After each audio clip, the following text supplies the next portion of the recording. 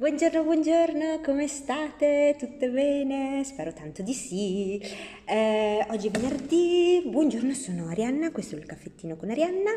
Eh, appuntamento quasi quotidiano adesso, un po' dipende dalla pioggia ultimamente, eh, in cui insomma si parla un po' di tutto in questo periodo, di solito di eh, sferruzzo. Ehm, ho finito, però ve lo farò vedere lunedì, perché adesso ho finito il mio maglioncino di cotone color burro.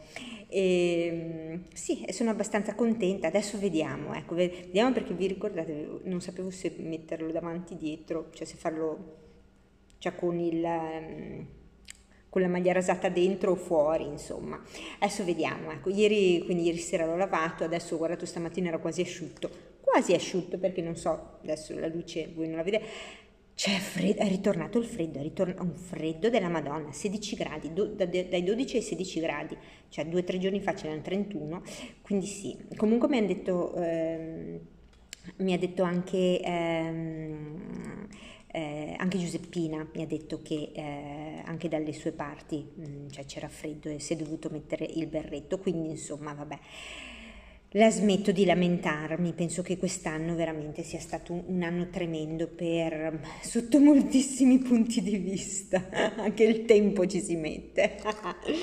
allora, tra l'altro sì, eh, come Martino, come tantissime altre che io sono meteoropatica, proprio, uh, cioè quando eh, i primi sei mesi che ho fatto in Inghilterra, mi veniva da piangere veramente, avevo sempre mal di testa.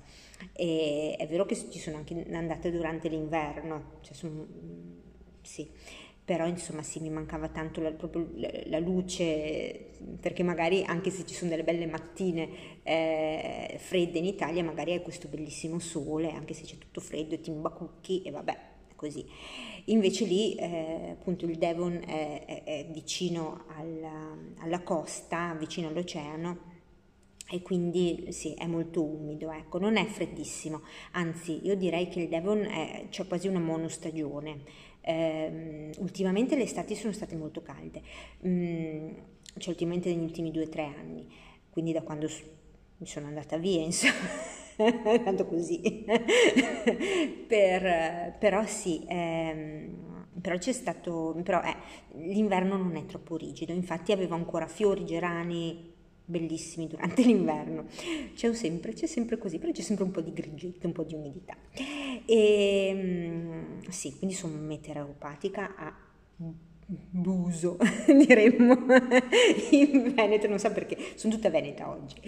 E, e niente, allora, prima di iniziare volevo scusarmi, ma veramente scusarmi tantissimo, mi sono dimenticata di aggiungere il nome di Patrizia Marin nella lista dei podcast italiani. Ma a me, se, cioè, se voi mi aveste chiesto, l'avete messo, ci scommetti dei soldi? Dico, ma certo che ce l'ho messo. Non ce l'ho messo. Scusami Patrizia, scusami, scusami, scusami. Comunque ne avevo già parlato, Patrizia è una di quelle podcastatrici che mi fanno tanto, tanta, tanta compagnia e andate a vedere, io spero tanto mi aveva quasi detto che voleva fare un video, speriamo di sì, che così durante, vabbè, io da lunedì prossimo me lo scarico perché durante il weekend non ho accesso a YouTube. E, ehm, è così, quindi scusami. Tra l'altro altri podcast me li sono scritti qua. Penso, non so se, perché adesso mi sono appena accorta, infatti, che mi mancano dei commenti, cioè che magari non so come faccio a cliccare cioè dovrei essere capace. Mi sono sfuggiti dei commenti anche molto belli e quindi mi dispiace. Quindi io adesso intanto vi dico questi, ehm, questi podcast che voi tutte mi avete, ehm, che mi avete consigliato e che eh, tra l'altro che li conoscevo, cioè no, questo no, Beagle Knits no, però Fiber Tales è fantastico, lei è bravissima, poi sapete questo Scandi Style che mi fa veramente impazzire. E, e, e poi lei ha questa voce molto bella, cioè le darei un pugno perché continua, non parlo molto bene in inglese, veramente considerando che parla benissimo in inglese. Eh, quindi Fiber Tales bellissima lei è bellissima tra l'altro ha pubblicato penso che pubblichi adesso da un po' che non lo vedo però mi ha fatto ridere che eh, proprio adesso è venuto fuori una sua mh, mm, sapete nelle subscriptions non so come si chiama in italiano, nelle subscription è appena venuto fuori lei, quindi telepatia. E questi qua sono due francesi che ci piacciono molto, Triple, triple L de Mag, lei si chiama Magdalene e penso che abbia iniziato anche lei, sì, ehm, Elisabetta me l'aveva detto, che abbia iniziato anche lei a vendere dei modelli e poi Lola Pandalis, ce ne sono tantissimi altri, però questi intanto li ho aggiunti e in spagnolo Bigonitz. Tra l'altro qualcuno mi ha detto anche che lui è italiano, non lo so, mi sono scaricata il video eh, un paio di giorni fa e adesso lo devo guardare, è che avevo una fila di cose da guardare. L'altro libro, ops, ve lo scrivo qua, adesso mi sembra di fare lezione, eh, perché con Zoom se, mh, mm, faccio meglio così che non eh, condividere la lavagna perché mangia troppo a internet e si chiama The Green Bean the green bean. E questo qua è questa qua inglese di cui qualcuno mi ha chiesto. Ed è vero che io so the green bean podcast. Lei si chiama Katie Bean e, e, vive in. Tra l'altro è questo il podcast che ho guardato ed era bellissimo. Tra l'altro una passeggiata che facevamo sembra anche noi, quella lì. Mm. Vabbè, è, è molto molto bello. E poi lei è carinissima, un'altra che ha questa voce carezzevole, questo fare molto semplice. A me piacciono molto queste qua che sono molto semplici. Dipende perché a volte ho voglia, ci sono dei, dei podcast che seguo che sono molto briosi, cioè ah, e ridono. E quindi se sono sono nel... Mm, se ho voglia di farmi anch'io quattro risate così, però ci sono dei momenti in cui magari non mi, sen- mi, sì, mi sento un po' giù così e questi podcast che sono molto ti equilibri, equilibri ti restituiscono l'equilibrio. oh, e poi guardate questo che l'avevo scritto, The Great Sewing Bee, io ho un modo di scrivere che è tra l'inglese e il francese, mia, eh, tra l'inglese e l'italiano, la mia calligrafia ormai, vabbè, eh, The Great Sewing Bee, e era un programma un po' come il Bake Off, ma è in, eh, per il cucito, quindi ci sono tutte queste sarte che hanno dei compiti diversi, che hanno dei tasks, delle, delle sfide diverse e lo trovo molto bello.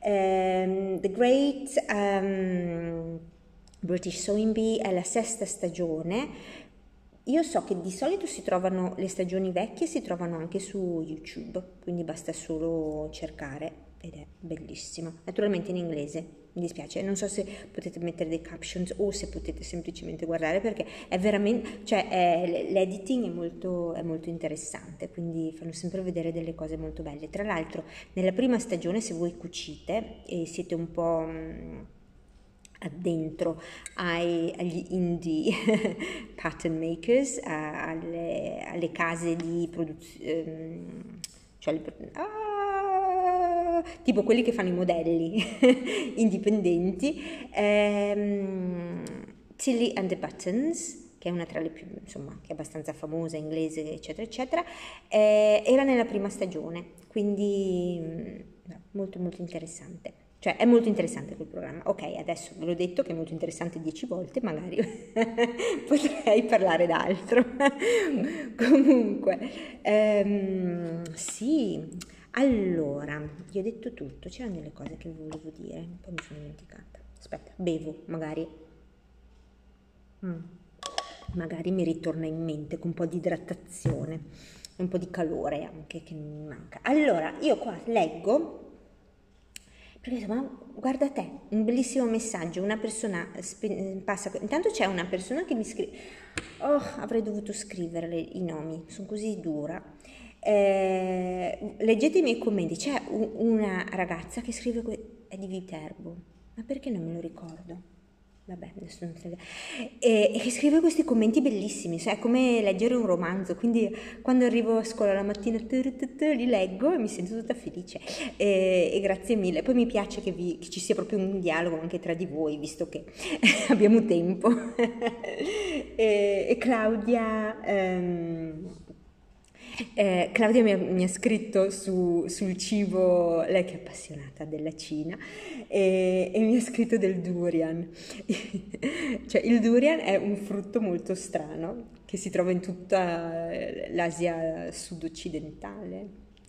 Southwest Asia e Southeast Asia, che dico, sudorientale, scusatemi. e, e, si trova, il durian è un frutto che puzza, ma puzza di vomito, cioè è una cosa che è immonda, però è considerato il re dei frutti. E, e, sì, e, e io devo dire l'ho provato Claudia, io l'ho provato. Me l'ha fatto provare questo hippie, eravamo, eh, vabbè, eravamo in Laos, eh, ma tantissimi anni fa, e, e questo, no, no, ma a me non piace, fa guarda, adesso lo faccio mangiare. Nigel ha rifiutato, adesso io provo, senti cos'è, c'è un pezzettino. E a dire la verità, vi dico, cioè, puzza, ma puzza una cosa, è un, no, voi no, cioè, infatti su, negli hotel eh, c'è scritto di solito, prendi una multa se ti porti il durian in camera, per tipo, no? C'è il, la foto, dire, ma anche sulle metropolitane, ehm, anche a Bangkok sulla metropolitana c'è no durian, negli hotel c'è no durian. E, e puzza una cosa, è immonda, immonda, immonda, però quando lo mangi è uno, quindi è un frutto molto grande così, tutto spinoso, poi ha questa polpa bianchissima, o no scusa non bianchissima, giall, giall, giallina, adesso sto pensando a un altro frutto, giallina, ed è, eh, quando lo mangi tappandoti il naso, è vellutato, ti sembra di mangiare una crema ed è dolcissimo. Però ragazzi, sì, prima di metterlo in bocca vi dovete tappare il naso, è una cosa orrenda. Comunque se andate in ferie magari da queste parti, tra l'altro cost- costicchia anche, aspettate che magari vi faccio vedere una foto. Ehm, Nigerian. Ecco qua, aspettate, facciamo così, visto che abbiamo questa qua è la foto del durian. Quindi ci sono questi spicchi giallini ed è veramente una cosa orrenda. Si chiama anche jackfruit. Quello è il king, è il, è il re dei frutti. Adesso vi faccio vedere uno invece un frutto che è buonissimo. Mangostina. Mangostina, penso. Ed è una cosa buonissima. Questa qua. Sembra quasi un caco come forma e, e, ha sempre questa pelle abbastanza dura. Poi quando la apri ha questi, hanno questi segmenti bianchi. una cosa buonissima! È duro. Ecco, mi sono venute le bave, vi giuro, è buonissima. E eccolo qua. Vedi cosa vai a parlare di cibo? Se per caso venite in, in Southeast Asia, se venite da queste parti o, ehm, o, così, magari le trovate anche ai supermercati, ormai si trovano un po' tutto. Buonissimo, buonissimo. Ok, grazie Claudia per avermi ricordato di questo, effettivamente non me lo ricordavo. Eh, e poi lei diceva anche, adesso, gli gnocchi di riso. Mm gnocchi di riso non li ho mai provati e potrei anche provarli. Il fatto è che non parlando cinese è sempre un po' difficile andare a vedere, quindi alla fine mangiamo sempre le stesse cose, a meno che una volta siamo andati i genitori dei nostri bambini, perché c'è un bambino in seconda e un bambino in quinta, e cioè quindi un bambino con il maschietto è con me e la ragazza è con Nigel e, e quindi i genitori hanno voluto a tutti i costi um, portarci a mangiare con degli altri anche bambini eccetera. E ci siamo divertiti tantissimo ma siamo andati in questo ristorante. Oh, abbiamo mangiato così bene. E purtroppo poi è successo quel che è successo però volevamo ritornarci perché veramente abbiamo mangiato benissimo in Cina secondo me comunque mh, mm, c'è ancora comunque una cultura del cibo che è molto proprio innata, a loro piace. E, ehm, e sì, e Claudia ancora, e così vi parlo anche un po' della, dei, dei, dei, risvolti, perché proprio questa mattina ci, ci, è arrivata la comunicazione che insomma si riapre, l'11 si riapre.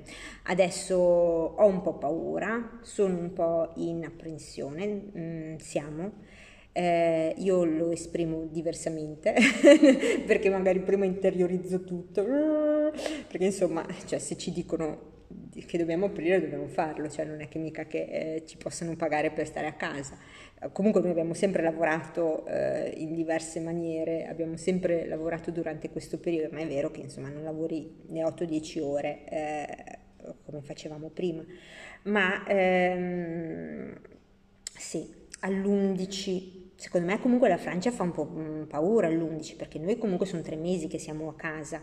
Eh, effettivamente non lo so lei vive a Parigi mi diceva che aveva un po' paura del discorso dei trasporti e ti do completamente ragione. Non so anche noi comunque da quando noi abbiamo la fortuna che possiamo andarci in motoretta però effettivamente noi in metropolitana non ci siamo neanche più andati.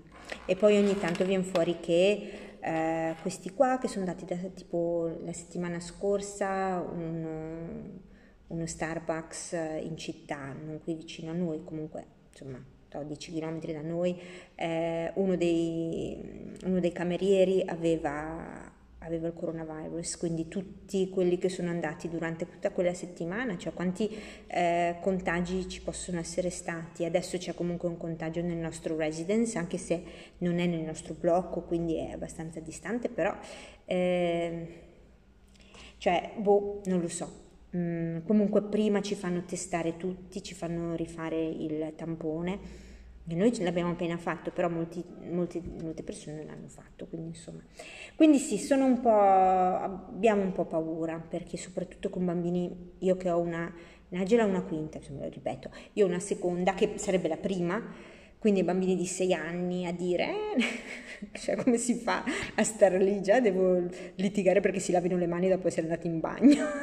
Andate a lavarvi le mani, vi siete lavate le mani. Adesso sarà, cosa? Mi metto lì davanti e devo aspettare che, devo controllare che tutti si lavino le mani mh, mm, correttamente. Boh, non lo so, è tutto un po', eh, magari poi sarà meglio di così, cioè, non lo so.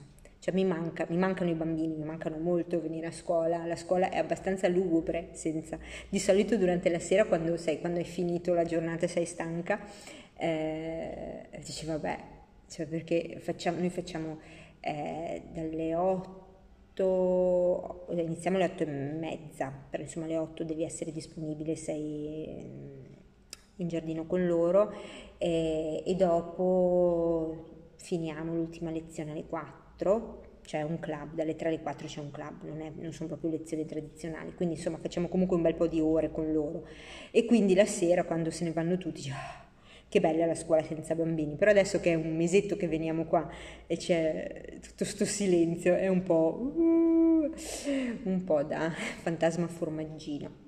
E, ehm, e così, quindi insomma sì, capisco Claudia e capisco ce ne saranno tantissime come Claudia che adesso dovranno ritornare al lavoro. Eh, brutto brutto. Vabbè dai, io spero tanto che mm, sono 18 minuti intanto. Oggi ho detto, oh, non so neanche cosa dico, non so neanche cosa dire. Lunedì vi porto il maglioncino, promesso. Eccoci e così vi faccio un po' vedere. Dai, allora, un bacione, un gran con lo schiocco, voletevi bene, vogliatevi bene. State distanti l'uno dall'altro, lavatevi le mani così dai. Cive, buon weekend ragazzi. Un bacione grande e ci ritroviamo lunedì. Ciao!